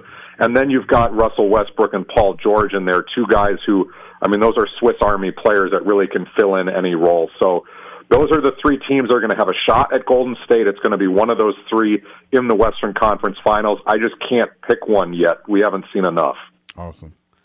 All right. Once again, we're here live with Joe Cortez, my man, um, owner of the Basketball Writers. You can um, catch that website. It's for it's for basketball lovers, NBA, college. You love hoop is perfect for you, and you can um, go to B Ball Writers and make sure you subscribe, and you'll get um, great content. Also follow him on at Joe B Ball. I'm sorry, at B Ball Joe. Follow him on Twitter at B Ball Joe. Now, Joe you mentioned the Denver Nuggets, and I want to know like how good are the Nuggets? But not only that, like are they able to keep this up throughout the season and postseason without a go-to guy? I know Jokic is that guy, but as far as clutch, a superstar, we all know playoffs are for the superstars. How far can they go with this team? Well, I think Jokic this year has unequivocally cemented himself as a superstar in this league. Uh, it is not premature to say that. He absolutely controls the game from start to finish. He has made clutch plays. This is a guy who's averaging almost eight assists as a center, and he's averaging 20 and 10, you know, in points and boards as well. Plus, he is a plus defender. So this is a five-tool player now. Um, I mean, he they are running the entire offense through him. But your question is still valid about the Nuggets because that is the only superstar on the roster, and teams are obviously going to key in on him during the playoffs. He's still going to make them pl- pay, but the game plan is going to be all based on making somebody else beat them. It's similar to what you know Milwaukee is going to face with Giannis Antetokounmpo. It's going to be the same thing that Houston has to face if Chris Paul doesn't come back at a 100%. So it can be done, but really the question here is what kind of upside does Jamal Murray and Gary Harris have left during this season? Are these, you know, good scorers who are streaky? Gary Harris is a good defender as well. Jamal Murray's got wonderful three point range, you know, and can get to the basket. Are those guys going to be consistent on a night to night basis when they get to the playoffs, something that they have not yet done? And are they going to have enough depth behind them? Which I believe the answer is yes. If this team is healthy, Denver is freakishly deep beyond, you know, Paul Millsap, but Trey Lyles gives them good minutes off the bench. Mason Plumlee is a fantastic basket cutter. Torrey Craig has been helpful. Monte Morris has been helpful. They've got the pieces to go the distance, but you just wonder if it's a year too early. Like I said before, they're 28 and 12, and every year we'll always see somebody in the first half of the season jump out to a really good record and maybe be sitting at the top of the conference, and then all of a sudden they get into those dog days, they get into that stretch playoff run, and they fade a little bit. I don't know that that's going to be Denver this year, just because again they're getting healthy and they've done all this while not at full strength. But I don't know if they're going to be ready to walk in in their first year together in the playoffs, essentially as this group, that they're going to be able to walk in and march you know, three rounds into the Western Conference. That feels a little premature. All right, Joe. Uh, I think people would think we live in Denver the way we talk about the Nuggets, but I, I, I do have to ask you. Uh, we had a poll up this earlier this week and asking the top three MVPs for the season. Everybody with the LeBron, Harden, and the Greek Freak. It, when it got to me, I kind of threw Jokic in in, in, in the fold because I'm like, listen, he he's doing this without a healthy team. So I just kind of wanted to get your opinion. Would you consider Jokic as a sleeper MVP pick for this year based on what he has done with not a full healthy team? I think he's in the conversation, and that's as much of a you know compliment and a hat tip that we can pay to him. okay. uh, I don't think it goes. I don't think it goes any further than that. I look at Jokic the way that I did the Greek Freak a couple years ago. We can see where this is going to go. Uh, he definitely deserves that respect and to be there. The fact that his team is sitting in first place right now is a big thing, but I'm not going to put Jokic over what James Harden is doing, which is on a historic level again. I'm not going to put him over what Antetokounmpo is doing now in Milwaukee, where he has reached um, not necessarily the threshold of his talents, but he is absolutely there on a nightly basis and is completely unstoppable. Jokic feels like he's a year, maybe a year or two away, but the very fact that he's in this conversation and we can all say this with a straight face, uh, you know, that again, that's a huge compliment to him. But no, I, I would not name Jokic MVP yet. Okay. All right. We definitely appreciate you, Mr. Cortez. Thank you for coming on, sir. You know you're always welcome. And um, continue, to man, to give that knowledge. There's some great stuff right there. Thanks a lot, guys, for having me, and it's always great talking hoops with you. Absolutely. Thanks, Joe. No problem. Thanks. All right, we're going to take a quick break, and we will be back with our segment Ask a Doc. We'll be right back.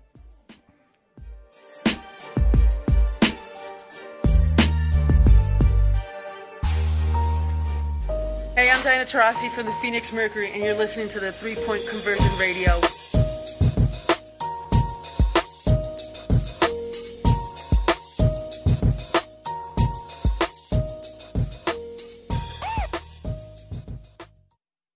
When is the best time to talk to your family about staying in touch during a disaster? When floodwaters reach your door? When wildfires are engulfing the edge of your neighborhood? Or an earthquake is destroying buildings? Or is the best time perhaps today? During a disaster, you may not be able to stay in touch with your family or friends as easily as you think. Go to ready.gov/communicate and make your emergency plan today. Don't wait. Communicate. Brought to you by FEMA and the Ad Council. What's up? This is Anthony Hamilton, and you're listening to the Three Point Conversion.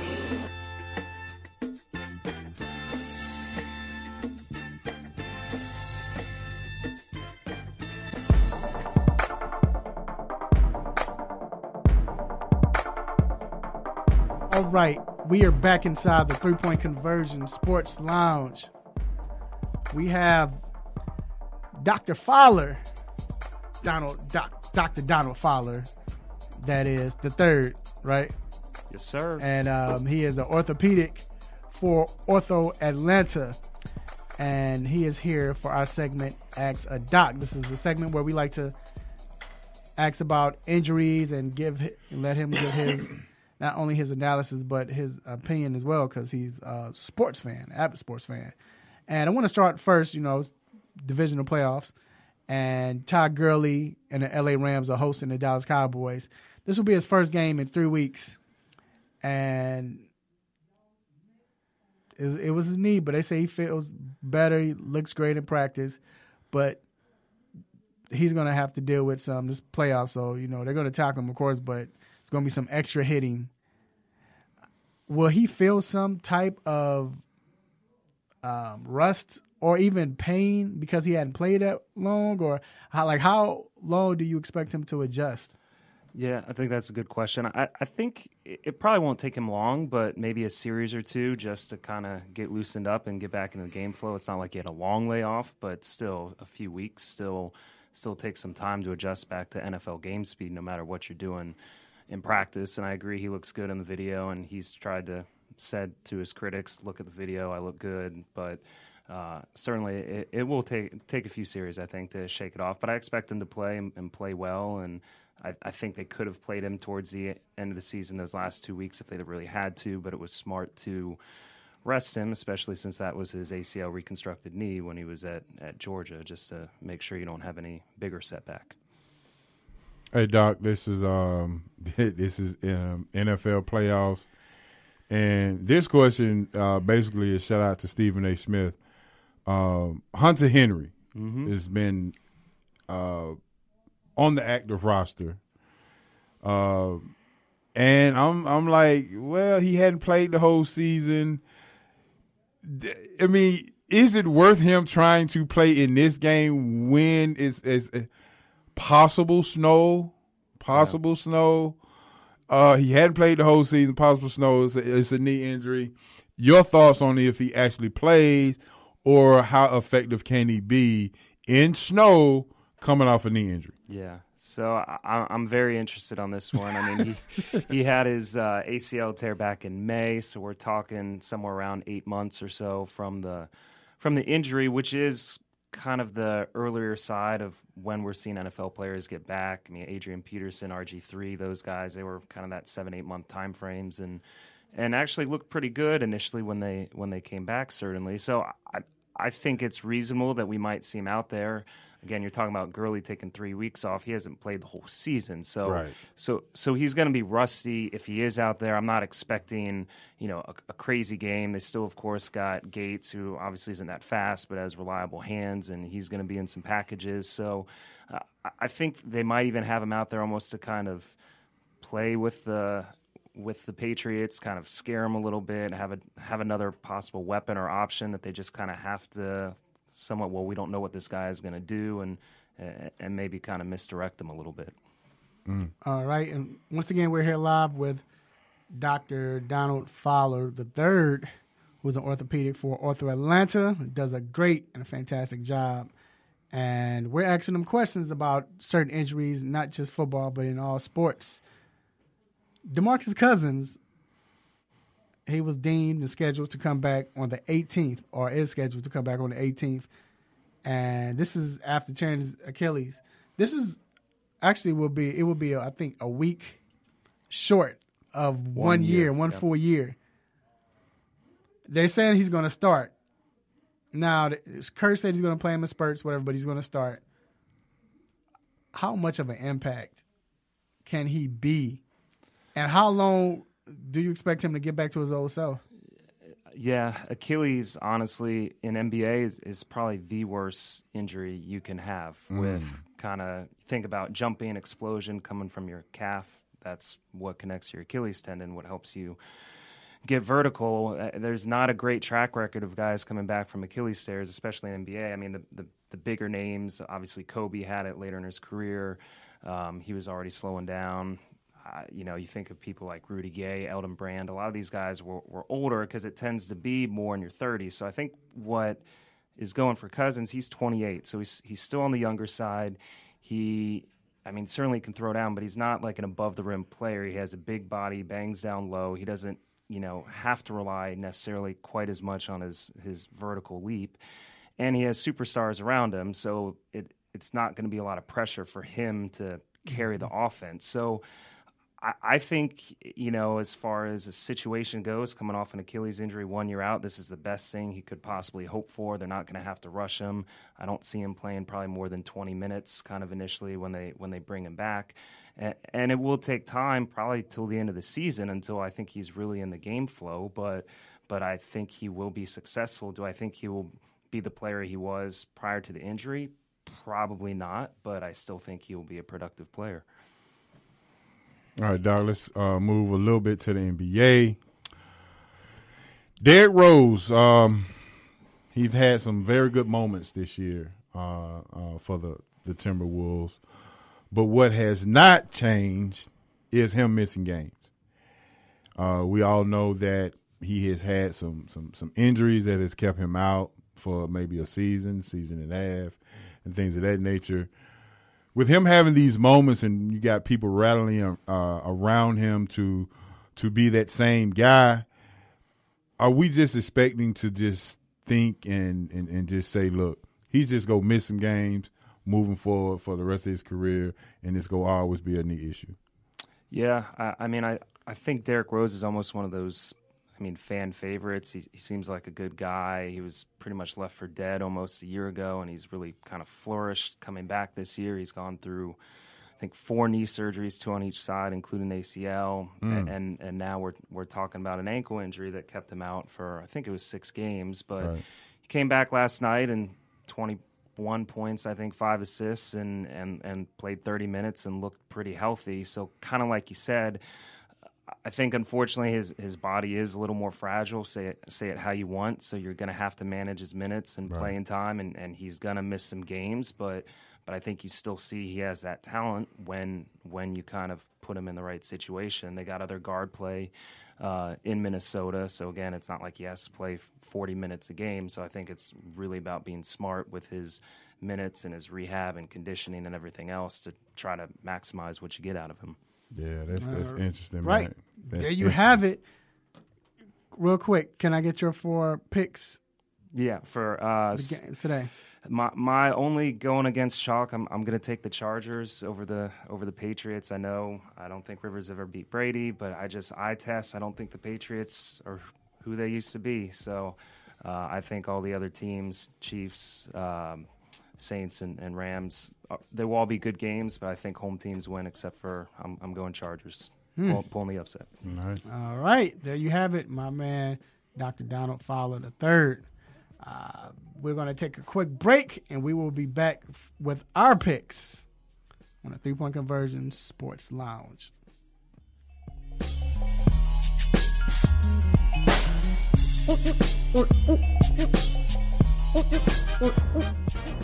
What's up, man? It's Metal World P. Shout out to the Three Point Conversion Radio.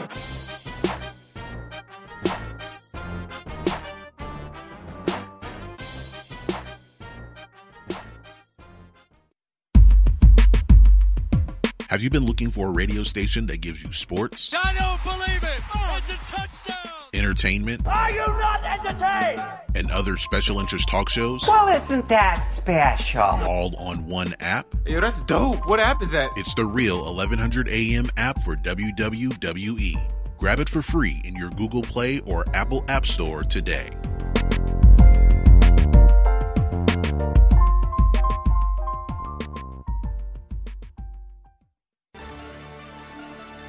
Hey, what's going on? It's your man Terrell Thomas. We out here right now. Big up, shout out to the three point conversion.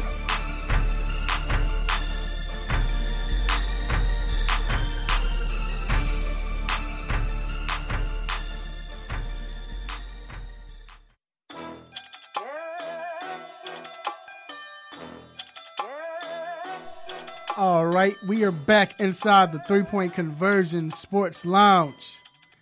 It is time for our weekend picks. And HO, we're going to start with you.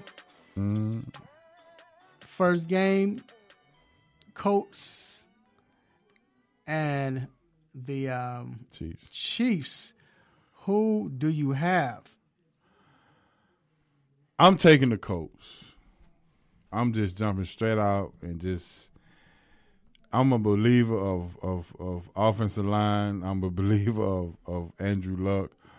Um, I I just think that they are possibly the most underrated team that we've seen this year. That does not get enough talk about how they actually built their team, and not to even mention that they got 118 million dollars in cap cap space for next year. Mm. You Mm. know, so I'm going with the I'm going with the Colts. G, who do you have, sir? I'm gonna take the uh I'm gonna take the Chiefs. Um I don't think that the I think the Chiefs are used to playing outside. and even though like it's gonna be snow and the Chiefs might not have the speed that they normally have, I think just having the advantage of the uh having the home field advantage and the crowd behind them and I think they'll make enough plays defensively to to beat the Colts. And uh, the Colts have a good strategy defensively. I don't think it's going to work against the Chiefs, though. Mm, That's the bottom line. It's not Chiefs have too much talent, and again, it's snow outside, but you still can run fast if you're running a straight line. And if Ta- Tyreek Hill is running a straight line, that's you know. And I think with the cover two, uh, Kelce's going to eat up that middle. You know, um, if Leonard, if Leonard is that good where he's able to cover him and get range, okay, but Kelce's gonna eat up that. And then, like I said, with Mahomes throwing the ball is just he's accurate. So I have the Chiefs winning as well. But love would love to see the Colts win. Cowboys and Rams. G, I'm gonna start with you first. I f- never mind. I forgot. I can't pick against Dallas, but Who do you I know there are ways that the Rams can win, Mhm. but it, it just comes down to execution, really. Like I said, their secondary is iffy. I don't think that Aaron Donald can beat the Cowboys offense by himself, but he is going to still be disruptive. So it's going to be on Dak and and Zeke to make some plays for the offensive line to make some to help make some plays. Uh, defensively, um, well, offensively for the Rams, it's whatever Gurley can give them. Like he has to be effective. If he's not effective, that's going to affect Goff. So it's it's really on Gurley to help the um, Rams, but I can't I can't pick against the Cowboys. They're my team, so I can't do it. Go ahead. Um, I, I think the Rams will throw to run. Um, I think Seattle fed right into their hands last week. Their front seven is awesome. They will stop the ball. I think the Rams will have a strategy of stretching them out first and then coming back with Gurley to run the ball to kind of give them a little space. So I'm taking the Rams. I'm taking the home team for this one. honestly, this is tough for me because I, I wanted to say the Rams, but I did say earlier this season, not because I said it, but I, I mean, I'm starting to believe it again. Like it's happening where you look at the way the um, Dallas has been playing, the Dallas Cowboys has been playing, and the way Dak has been playing, which has been impressive. This last three, four week run that Dak has been on has been reminiscent of the Dak we saw his rookie year. So that coupled with the running game, and then not to mention, you still have you have a wide receiver. Even though they're thin at wide receiver, that's the scary part. They're thin at wide receiver. But if the defense can control the game just enough to where they, you know, they can run the ball and then be able to get Cooper the ball at certain times of the game, Dallas might steal it. But through all that, like I just think they're too thin at the wide receiver position, and I think Rams pull it off. So I'm going Rams. But this is a tough game for me to decide.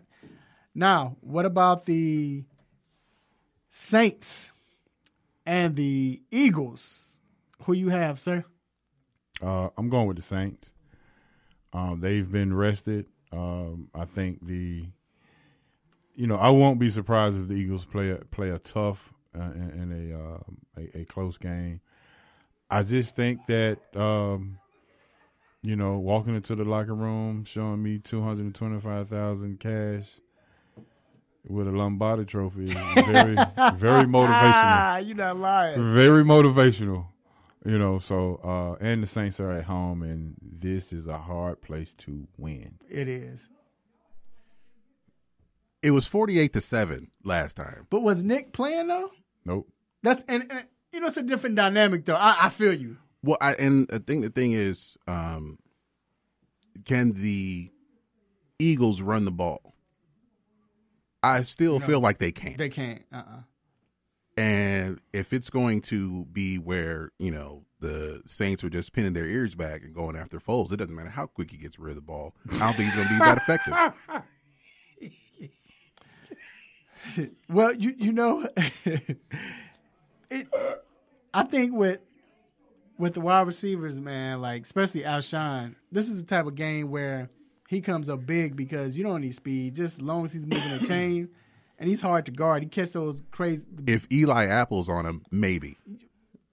Right, that's true. And if Eli is on him, they're gonna switch him around. That's a Dallas fan for you. I know, but he's right though.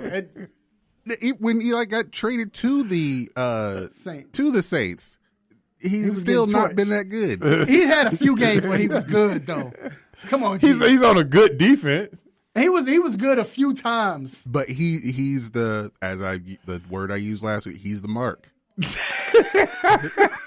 See, we, we're, West we're, side? We're, we're, we're not condoning game member talk right now. The straight up mark. Taking it back to See, 19. they wouldn't know that if you didn't mention it, man. straight up mark. So so G thinks Eli's a straight up mark. So no. but no, but honestly, um, it falls back on Eagles D line. I've always said it's about the Saints, and that's why Dallas was so successful. You know, and no one else probably hadn't been. If you can get to to um, Brees with four, then you have a chance. But if not, he has all day to pick. Then pick and pop. I think Eagles in trouble. So we might see another forty-eight to seven game again. So um, especially in New Orleans. That was in was that in New Orleans last time? Yeah. And then the last game, L.A. Chargers going up against the New England Patriots. G, who do you like? it all looks it all points toward the Chargers winning this game. I think they have the better defense. I think their offense um, can beat the Patriots defense, and with the Patriots offense, it's like you don't. I think they kind of thrive on being like kind of unpredictable, but I think it all centers around can Gronk give them anything.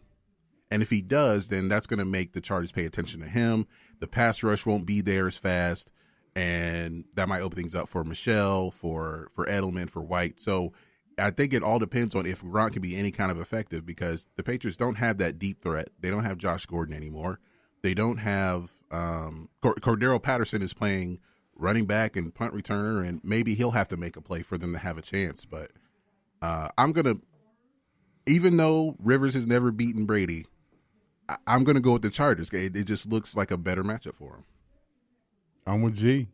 Uh, law averages says, you know, it's it's that time, and you know we've all been waiting for this guy Rivers to have that that signature win. And I'm just a Gus Bradley believer. I, I just think that this defense is so underrated that you know it, it is. I just think that they're going to propel uh, the Patriots offense and Tom Brady. He's still he's he's he's forty one. I mean, let's be real. It's forty one. I mean, it, Doc, there's no way that Jabones can get younger. You know, so I it is what it is. He's forty one. So avocado ice cream doesn't do. Because he said that.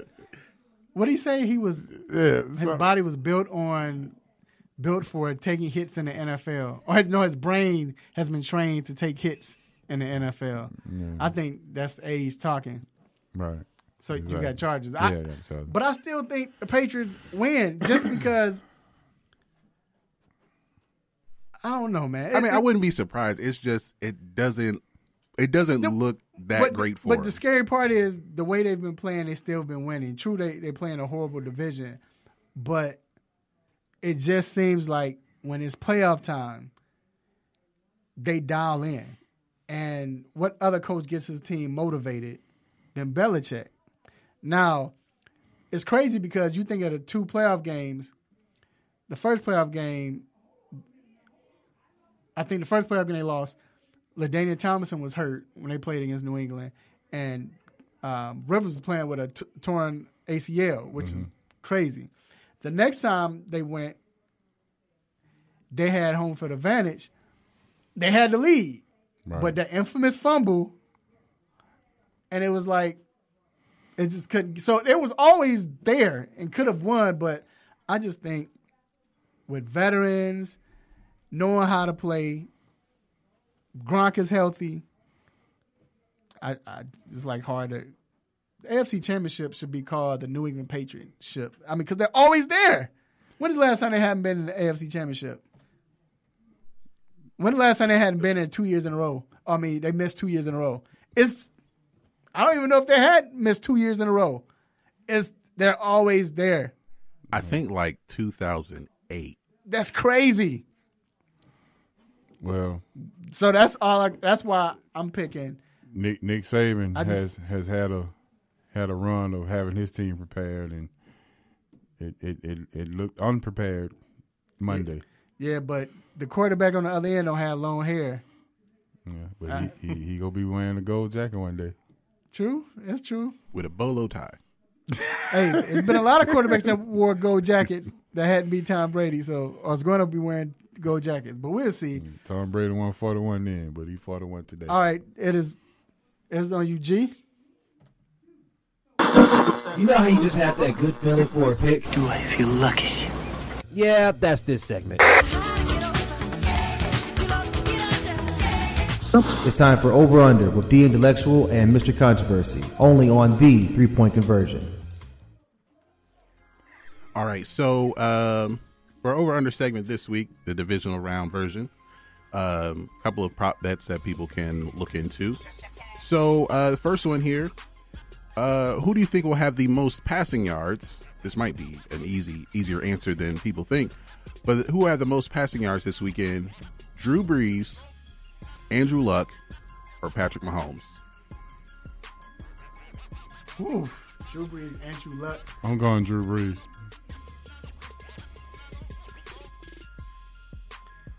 Uh, I say um I say um Andrew Luck because I think Andrew Luck is going to be down, so he's going to throw. He's going to be one of those 450 yard passing games Mm. with two touchdowns, but they probably lose because they're behind. So I, I got Andrew Luck. Yeah, I would lean more towards Brees because they're playing inside, but The game probably know. going to be over in the third quarter. That's why. I'm- Forty eight to seven. All right. Um, another, well, maybe another simple or easy one. Who will have the most rushing yards this weekend? Ezekiel Elliott, Todd Gurley, or Marlon Mack? Mm. Wow. Whew, whew, that's a tough one. And uh, which of the defenses has given up 152 yards a game over its last three games? That would be Kansas City. But still, because you know why? Because you know Dallas is going to lean on Ezekiel Elliott. But if Rams get going, Gurley's going to have a Gurley could break. I'm one. going with Zeke. I'm going with Zeke. I'm gonna go with uh, cause well, I, I just said what's the name's gonna throw for 450 yards, so I'm, I'm going with uh, with Todd Gurley. All right, and the last one here. Um, who will have the no? What will be the highest margin of victory in the divisional round? It has been set at 17 and a half. So do you think anyone will lose or win or win by 17 points, 17 or 18? Not points? excluding the Saints. I mean, excluding the Saints.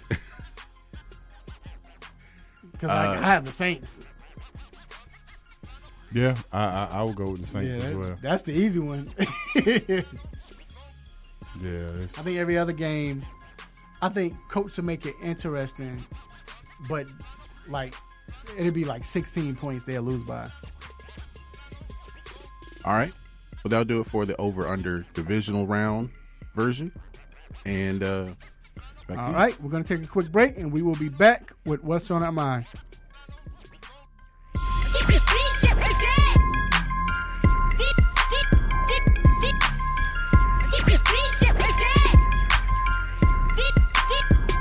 There's a lot going on in the world, and your world is always changing. That's why it's important to stay connected.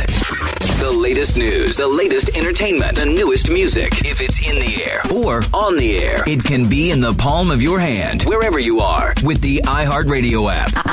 iHeartRadio. Over 1,500 live radio stations from across the country, and over 15 million songs to create your own custom stations. Text IHR to 45495 to download the app or listen at iHeartRadio.com. Standard text and data rates apply. What's good, family? I'm Marlon Sucker Free Jones of Sucker Free Life Double LC, and I'm locked in every Saturday to the best sports show on the planet, the three point conversion, with no team or no players off limits. So let's talk sports, the best of the best, the worst of the worst, and everything in between. Can you dig that?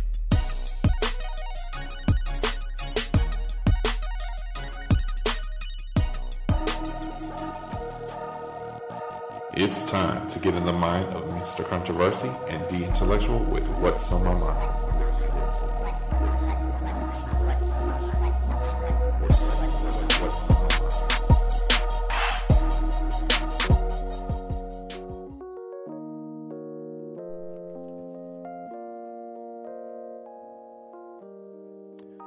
All right, we are back inside the three point conversion sports lounge.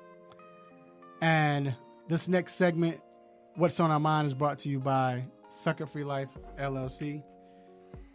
Make sure you live your truth for the world to see because everyone can be sucker free. Make sure you purchase your apparel today on facebook.com forward slash sucker free life LLC. All right, this segment is where we like to express what's on our mind, and I'm going to start first. And so, make this quick. So, as you know, I've been griping about it all day, all morning that the Chicago Bears lost last week, right? And it's not necessarily towards me because honestly, I didn't get too much of a third degree or people trying to get on me. Shout out to Rick. But um,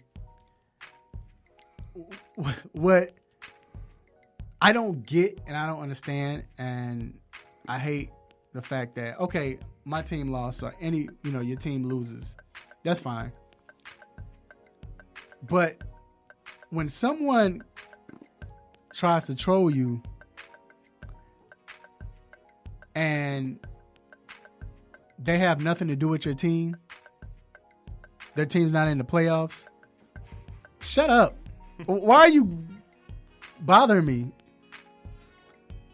I understand. So, like, for me, I'm a Bears fan. So, I understand if I get trolled by the by an Eagles fan because they beat us, or they um we we lost the game. Uh, but I lose. t- I get trolled by Eagles fan, a Green Bay Packers fan, or anybody in my division. I understand. But if you're an Arizona Cardinals fan, why are you talking to me? What is your point? What is it doesn't make sense. I don't get it. For the Alabama Crimson Tide, they lost. You had Fresno State fans getting at Alabama fans. I'm gonna take my boy said this. If your team played in the Christian Mingle Bowl, why are you talking to me? So my point is, you don't have the right to troll if your team sucks or is somehow you're not connected with the Bears or whatever team your team is if you lose. Now I understand the Patriots. I get they earned that right because you hate the Patriots. I understand the Cowboys because they've earned that right because all they talk about is rings and from '94. I get it. But if you're a San Francisco 49ers fan or whoever, and you're bothering a LA Chargers fan, shut up. What can you say about your team? And I'm I'm not talking about, you know, well y'all lost, man. Hey, well, I'm talking about oh, as soon as you lose, ah, what's up with that Bears? The field goal. Shut up. Memes, all the memes. Yeah, like man, that drives me crazy. That's what's on my mind, y'all. I, that's what's on my mind. Mm. My man. I get it all the time with the Duke stuff too, so I mean it is what it is. Um, Duke go thirty and one. I get one phone call. Well, what happened to them other thirty? So I get it. Um, but what's on my mind, obviously, is I love Joel, man. Joel is a good guy, NBA stuff, and you know we talked about the Hawks, and I'm pretty sure you can you can rap with me on this, you and G. But it's so much been going on with this Luka Doncic versus Trae Young, and I just kind of want to give people a pause for a second to just think.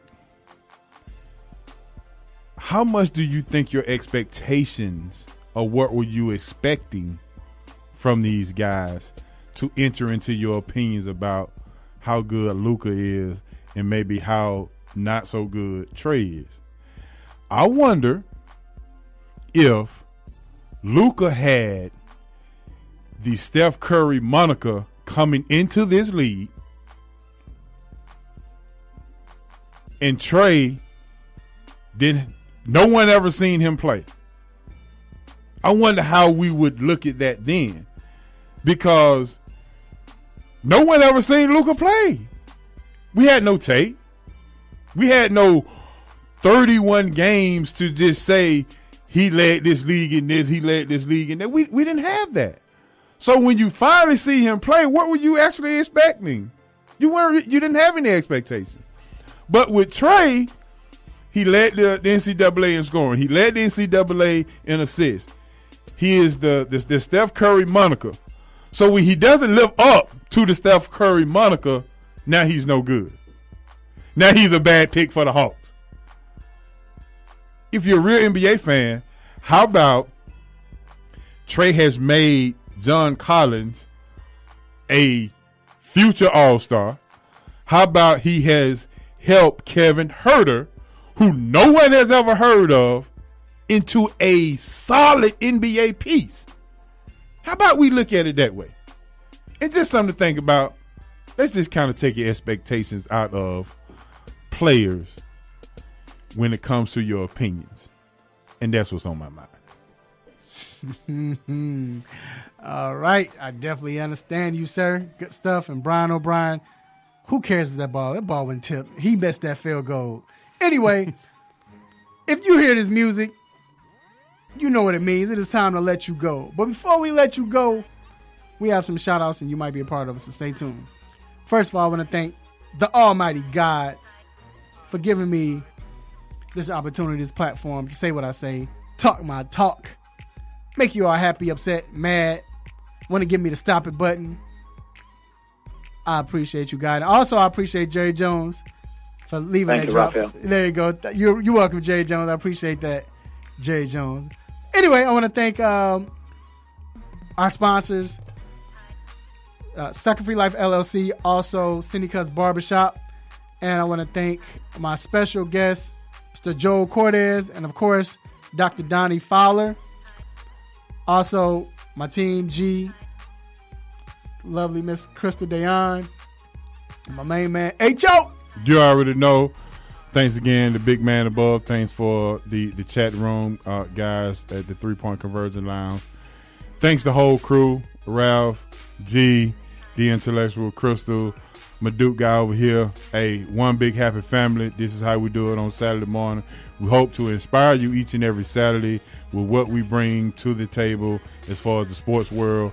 And if you want to continue to listen to great sports, please tune in. Sports Roundtable each and every Wednesday, 7 to 9 o'clock p.m. Eastern Standard Time. All right. And um, on Wednesdays, I will be hosting a podcast after 9 o'clock because I'm not part of a show from 7 to 9 on Wednesday on 1100 WWE. Whose fault is that? anyway, I want to thank my family and friends, beautiful wife, children, cousins, nephew, nieces, aunties, uncles, brothers and sisters, grandparents, and um, play cousins. Uh, make sure you all love family. Let everyone know you love them while they're still alive. Eat good. Watch some sports. Watch some playoff football. I don't know if I will be. But other than that, till then, same time, same show, same crazy week, same crazy um, sports host, same sports nonsense, Same NBA football. same NBA football. Will you miss me? I'm out. Peace. You just got done listening to the Three Point Conversion Sports Lounge. Be sure to follow us on our Instagram, Twitter, and Facebook accounts at the Three Point Conversion. And also make sure you check out our website, the3pointconversion.com. Be sure to follow us live and listen every Saturday morning at 10 a.m. Eastern.